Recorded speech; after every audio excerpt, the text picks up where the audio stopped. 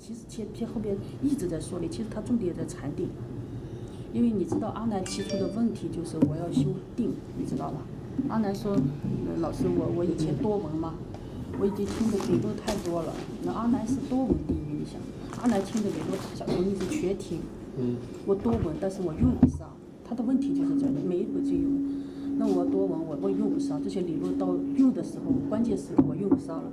那么我现在要修定，佛你能不能答我怎么修？这个问题是在修定，但佛一开始让他明心，就是修定的第一步，你知道？整个是修禅定的是，就是次第呀、就说你先明心见性，然后去修修学学法门，包包括他学法门从哪学，从哪学，上十年你也破不了情欲。那 OK，破情欲从哪开始？禅定啊，阿难所以问子观，他在问子观啊，说我现在多闻地也没用了，佛请把你的那些定交给我，我要修功夫了。好，功夫从哪来？佛整个人也就从一开始修定的智慧，修定次第啊，就是。没有那些东西根本就达不成，你没有那些师地菩萨也达不成。从一开始在末法时代这个时代，尤其是末太重要了。师地菩萨，就算他是师地菩萨，他要再来，他境界无量，些里边那些清净明慧，还有那些东西，否则他根本进不去。否则他的只是理论上的用，他也可以逐渐、逐渐、逐渐，慢慢的达成一些东西，见地上可以。就是他他见地上可以达到一些智慧，但那个智慧只是意识层面的理解，就是所以这解悟吧，也可以这样说，就是通过了解慢慢悟，因为我们都受过高等教育，不能说是高等教育是有用的，不是说没用。高等教育很容易听懂别人说法，哎，如果他如果是这个人讲法讲的比喻啊什么很合理，哎，那个那个受过高等教育的人就是没比没受过教育的人听得快，他他他见多识广，他他他他能是通过各种各种角度，他就哦，我知道佛在你在说啥。这个听懂跟证悟是两码事嘛，他这个也不能说他没悟，他就是知道了。哎，你跟他讲佛法，他就听懂了吗？他就哦，对，核实对佛说，我知道了，佛我知道了，我要回去修正了。信受分析嘛，信受分行先听懂了吗，听懂是什么意识层面领悟了，那也叫悟啊，那叫解悟。但是他在里边看，就是说正正进一个境界里边，证得一一点东西啊，那也是悟，但是他永远达不到大彻大悟。大彻大悟是说，呃，就是说你的用啊，就是你可以已经完全的运用到你的生活里。为什么阿南还用不到？啊，多闻第一的人用不到。但是说阿南说，呃，有些明心见性这一块儿他还是有点模糊。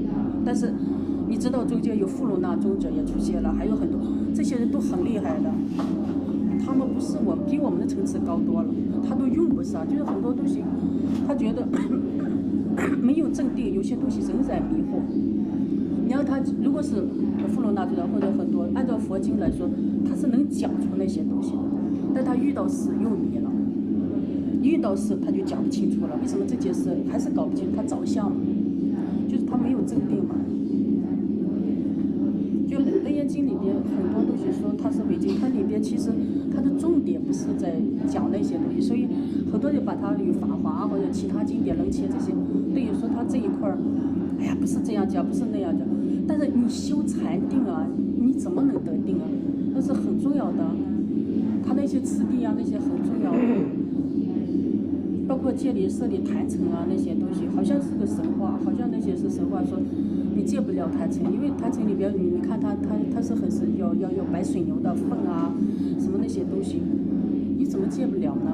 有些东西不是你在禅定里面就可以建立坛城，如果那个老师是有正量的，那些东西是容易得的，怎么可能得不到呢？你们就就是脑子就，他完全在禅定里边可以取来的，怎么可以取不来？那些东西。他那个是说正量的，完全是正量里边就是修行你会遇到的次第，次第里面遇到的东西，只是你没有修过，大家都就觉得忽略了它，就是觉得忽略了。每每说一句话，如果你在是实际的修正中有过的话，你查它查它每一句都觉得哇好厉害，就算这个人不是佛说的，这个人整个那那条路走完了。就算那部经不是佛说的，那个对对现代人修行的价值，它有，尤其是它是破情欲的，你知道？破我，而现在末法时代就是最难的，就是从情欲里面解脱。因为生生世世的情缘啊，它生生世世的。如果眼睛着相，耳朵着相，鼻子都着相，六根都在着相，你怎么可能解脱从青天欲海走出来？这是简直就不可，除非你气中满情，假装你寂灭了。但那是个幻境，你知道你彻底不能，那是阿罗汉境界。你要大乘菩萨，你行走在这个江湖上，你六根又着相，你不受无量无边的苦难，谁受啊？是不是？你一定要破掉六根，先把身根破掉，眼耳鼻舌身意这个根破掉。这个是个四大皆空，一定要证得四大皆，然后再破成就，才能不外界来了你才能如如不动嘛。你这边没破，外边怎么能不动呢？来个事情你就动，来个事情你就动，你不，你说不着相，这可能吗？这不可能。但是你怎么最快的？现在就是最想想吃快食面嘛。现在就是都是想我尽快的能成道，好最快的就是楞严经里面的东西，最快了，那已经就像吃方便面，那是速食。你可以其他法门进入，但是楞严经的耳根圆通，耳根圆通法门包括前面接坛城啊、修禅定啊那些东西，那是佛给你最快的方法。就最快的，你从这个走，你要走大乘道，你从这一点走，短期内可以证得。否则，否则你就，要么你走阿罗汉立体区，你就一直走。但是那个就是走大乘，那是大乘菩萨。他这个楞严咒，他不是让你出家的，他是走大乘道的。大乘道怎么尽快的入定啊？出一根啊，先从一个根开始，减一亡六嘛，好厉害的，真的是，他完全是修定，他完全修定，你不要认为他是说理的，你看着他里边很多世界是说理的，其实修禅定。其实这个佛是佛陀站在他的角度，用佛的角度来不，你只要有，他不是说。也不是这样子，也不是这样，就是我们主会魔是时有时无的，这心魔是时有时无的，你不能说你今天你明天可能就没有，是吧？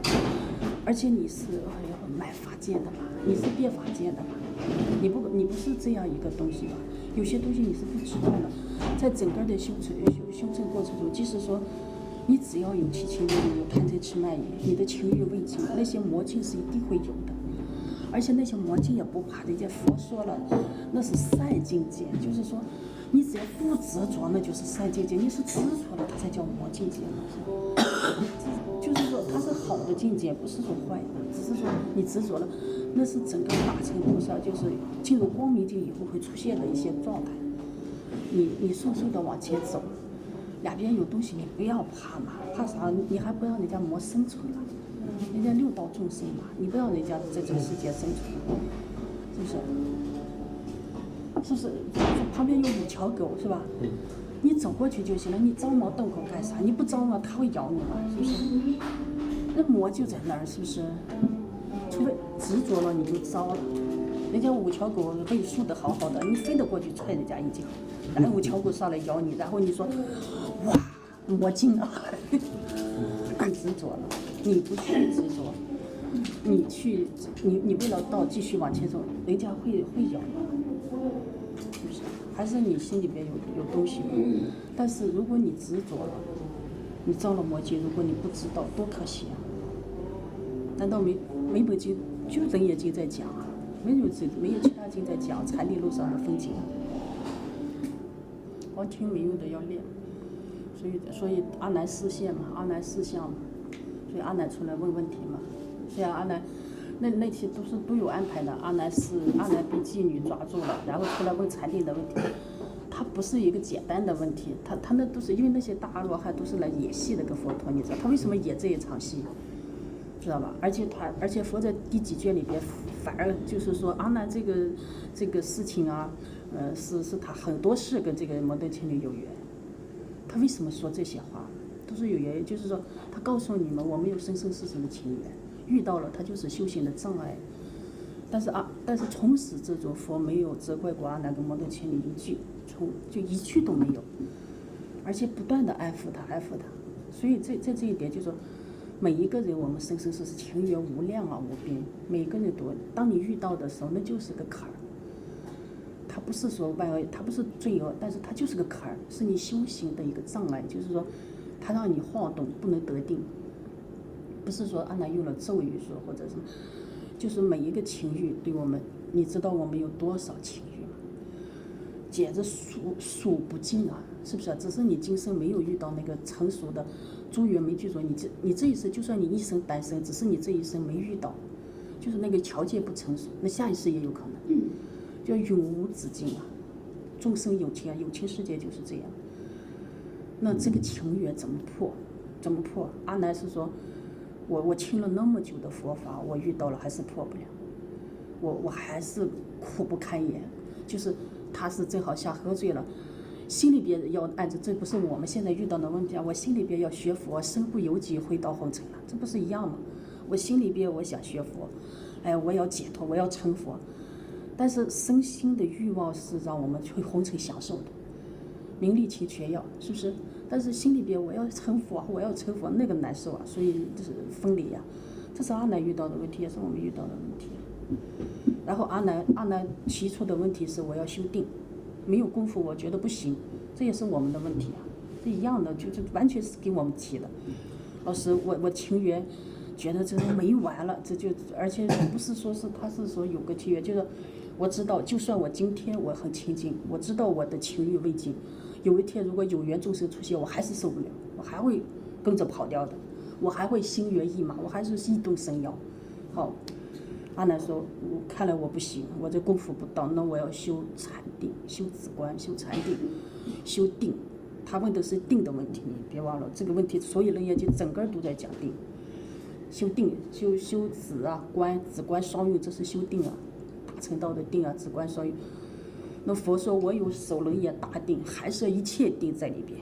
你看看这，你你学的这个定，把所有的八万四千法门的里边的定全部包含在里边了，这是最重要的一个定。所以你学了这个最高的剩下的定，就小定，你肯定定住了。所以就是，然后佛说，但是讲定之前，你要先明心见性。所以前边开始讲明心，找心啊。找心的目的是什么？你修定要打地基呀，是吧？地基从哪打？所以明心啊，你要知道本源心地，你拿哪个心来修定啊？是不是？你主要定，你定啥？念头是个假的，生生灭灭，你定它干啥？是吧？定住，因为念头是的，还有你的，你的念头意识，你你一直你这个假心假意的，就是说你没找到你的那个那个那个心，你到底心在哪？你得找到你心在哪，拿这个心修定嘛，是吧？假的你咋修？你都总得找个真的修嘛。好，这就是整个的这个破破，其次真心破妄见嘛，破妄。阿难说问他心在哪儿？他说在里边，在外边，在左右，在在中间，就这么乱说。但是这么乱说，我们也是这样乱说的。你看我们唱歌说月亮代表我的心，哎，拍着胸脯那肯定在里边，不是说月亮代表我的心拍到那边去是吧？肯定没有拍到那那边去是吧？我的心在这儿是吧？谁也不会说心在肚子里，平时我们讲就是说把你的心放肚子里也是这样说的吧，是吧？但是这个心到底是不是？然后他在里边就没找到嘛，没位置嘛，呃，显然他就他就模糊了。那不在里边肯定在外边嘛，是吧？这这是我们，这是我们最容易犯的错误，不在里就在外。你说不在里就在外嘛？这这这就是二元对立的脑袋呀。二元对你的脑袋最容易不是真就是假，不见不在里就在外，他就一定会这样回答。他说在外边，哎，对还举了个例子，这下没问题了。哎呀，反正更得意的，因为我们我们就是这样的，就那么骄傲，你知道吗？阿南所有的演的那场戏，就是就是我们演的，在里边谁不知道？就是佛说心在哪儿，在这儿呢，在这儿呢，拍着胸脯，谁不知道啊？是不是？就你，你成佛了，你心不在里边，在哪呢？这这么讲问我的，你小瞧我吧？这不是，这就是阿难的状态，这就是我们的状态。我们我们平时就是，如果佛跟老师，可能我问你们，你们会说，嗯，老师有套，也不敢说。如果外边有个随便一个人问你说，你心在哪儿？除非说了佛啊，你你你层次高，可能无处不在啊，什么乱说一通。人家人家那种，哎没没修炼过的，哪个不是说修？在这儿，哪个不是在这儿？层次低点说在这儿，层次高点说在这儿。我思故我在嘛？思想啊，是不是在这儿？是不是啊？然后解剖，人家说怎么解剖没找到呢？是吧？你都总得有个位置，那就是阿难犯的错误，也是我们犯的错误。在哪？在上，在下，在里边。那佛佛否定了它里边的，佛佛会讲说在里边，你为什么看不见里边？这脏器啊什么？他就否定了他嘛，将来会讲。阿南说：“哎呀，没在里边，那那肯定在外边。”然后佛说：“这下我知道了，你看看，哎呀，你其实也对我差点把他当成里边。”那肯定在外边，然后这下没错了，还举了例子，心想灯光啊，跑在外边看照不见里面室内啊，他就说灯的那个光啊，在外边就是那就在外边，心是灯嘛，就是光照的远嘛，心心在外边嘛，不是人是灯嘛，心就在外边嘛，那他他就说在外边，说还还说这下没问题了，意思说我我我对了，这下没问题了，人家骄傲的，那就是我们就是那种横起来一下子那种浮躁浮躁的那种骄傲。然后不会深思熟虑啊，所以我们听法听不进去，就是很肤浅的那种佛。然后佛又不说他不对，这下阿难才慎重了点，说这不在里边，不在外边，在哪呢？这开始思考了，前边是不思考的，就不经过大脑的回答问题，后边这就开始思考了，思考了两次，这答了自己答还是不对，不对，这我答的不对，又把佛的话掰出来了。他佛的话也没理解，就是断文取义的搬出一点，我们也会呢。就是就是佛怎么说，佛怎么说，就是这句是佛说的，这不是我说，这是你说的，这又不是我说的，你是这样说的。然后他又拿出几句话，然后还是不对，啊，就是这样。就是阿南，你们你们是没没注意看这个雷子，阿南所有表现的状态跟我们一模一样。所以你看完雷眼睛阿南的状态，我就想看到了。哎，我们的状态就你就知道我们就是那样的。然后呢，我们的内心虽然是两千六百年发生的故事，就是今天的，就是今天你们所面对的所有的障碍，所有的心里边面对的障碍跟心外边面，你们在修，虽然修定后期说是因为你们还没修定，所以没遇到后边那些问题。而前边那答的那些所有答错的，你们都可能答错，你们都可能那样怀疑，都可能答错，都是一样的，一模一样。但是你修禅定前边那些东西是要先先做的，那是禅定次第来。你要先从你要想破情欲，不要在里边受苦，就是就从前边开始，先明心，然后他就有十次的十番戒写戒嘛，就是说你看东西的不是也不是是心不是也，慢慢破六根嘛，啊，然后那些就是那就是整个的明心见性的过程，我讲的很好，很有次第，然后那个地方你听懂了，先听懂。这不是正，所以好，然后开始选择法门，耳根圆通，开始教你耳根圆通法，然后还是二十五位菩萨都说了各个法门，最后文殊菩萨智慧第一的文殊菩萨来选，你说为了你幸福，如果别人选是是他那些智慧还没我高呢，没准他选错了，哎，文殊你你还降服一点，心里还服一点，觉得心里怀疑也不敢说文殊比不上你是吧？除了佛文殊，这不是大菩萨？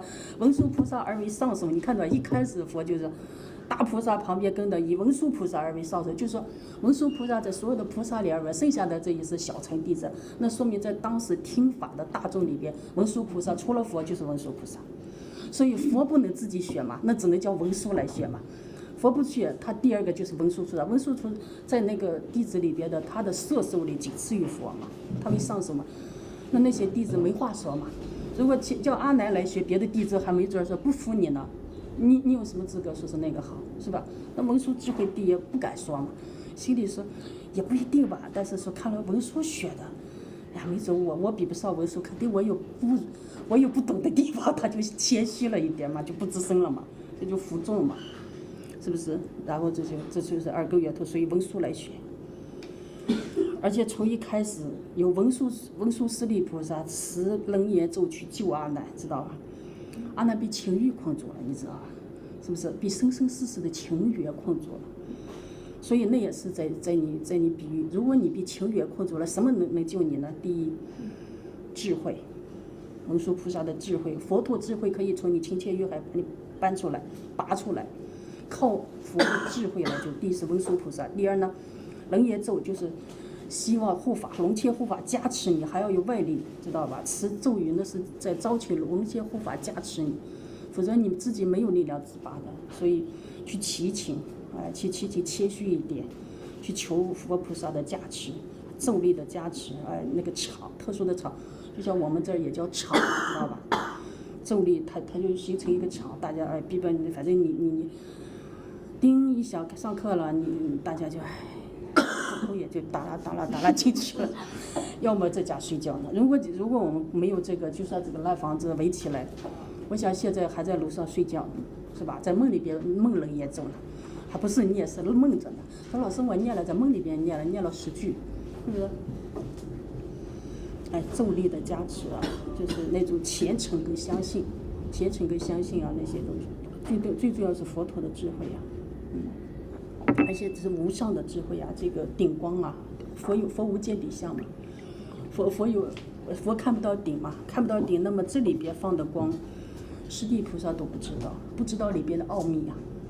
他不，虽然他实现的是个神变，这个神变魔王可能也能变，三十二这个这个也能变出来，这个三十二相这个，但是这个光里边持诵的楞严咒却是见地的问题，就说你跟我能变出一样的东西，但不一定能说出同样的话来。神通可以一直通过能呃变出来，但是说的话不一样，是吧？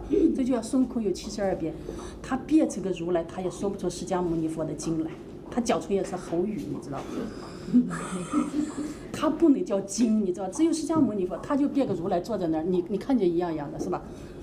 就是摸摸他也可以顶上放个光，变出个华佛在那呜呜呜呜讲咒，但咒语的里边的内容他讲不出来，明白吗？所以那个画佛就是，而且不可揣度，就是说那个画佛那个光里边的光明呈现的那个像，实际菩萨都不可能探知它的奥秘跟力量，为神力量。所以我们可能会会酌情的讲解雷业经、雷业咒，但是你要知道，那个里边的咒语的威神力量跟那种加持是不可思议的。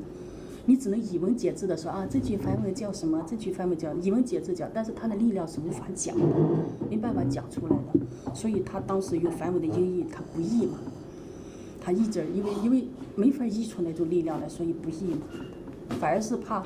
怕那种文字概念限制了你对他咒语的那种加持力的框框架，但是为了理解可能会讲，但是那个就是以后再说了啊。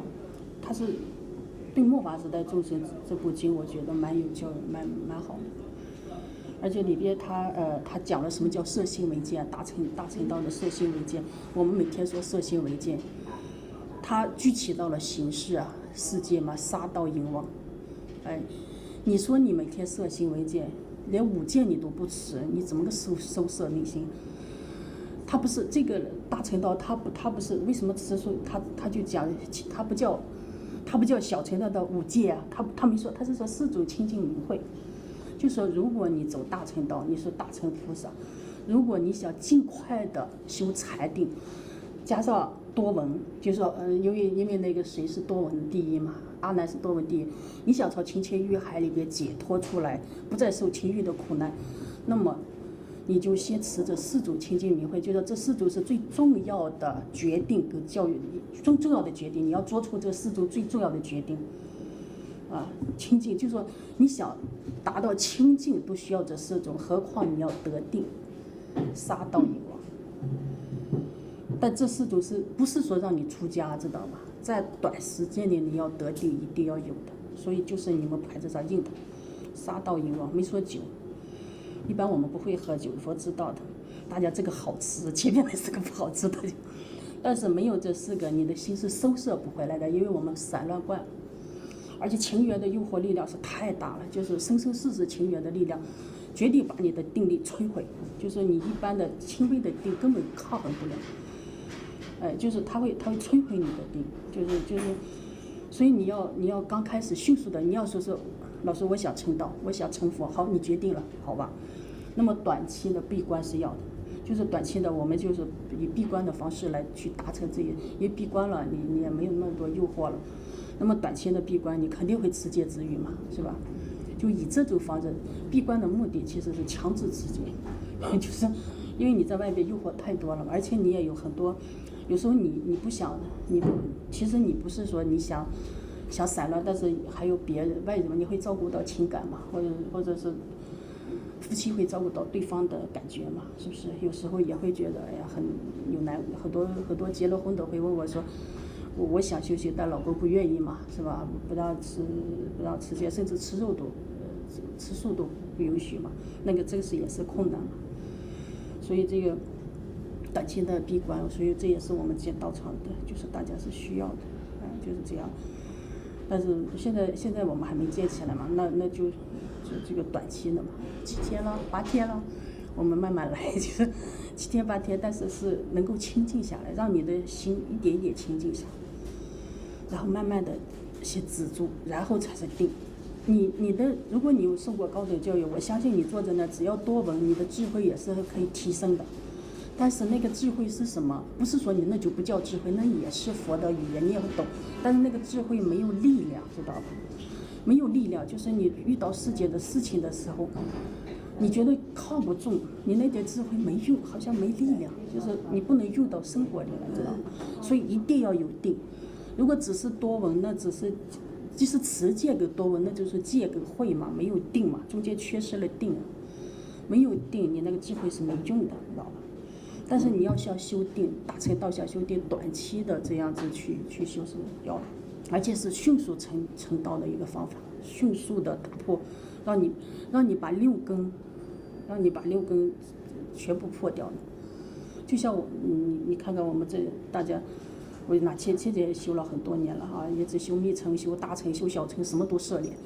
但但是你要这你你我我，他的六六根啊、眼根啊、耳耳根啊都没破，都拿达不到六根互用啊，达不到圆通。那么你明显的感觉，其实他就会着想。当他看到呃看到一些事情的时候，他心里会分别着想，他不圆通嘛，那就一分别，他就心里很很很烦恼就来了，就很简单。但是说理论上的他都懂。哎，理论上的人说，我也知道转烦恼为菩提啊，我也知道要慈悲啊，我也知道要持戒，我什么都知道，知道有啥用？就是听得多了嘛，听很多年，但是但不修定不行的，哪怕就是一段时间。我相信，如果你好好修的话，三个月了，一百天了，半年了，我按照这个次第，应该很快。如果你觉得我没有条件去修，那我们我们修到哪步去就修哪步去。那个时候没有条件，那就没有条件了，无所谓了，以后再修的，就这样。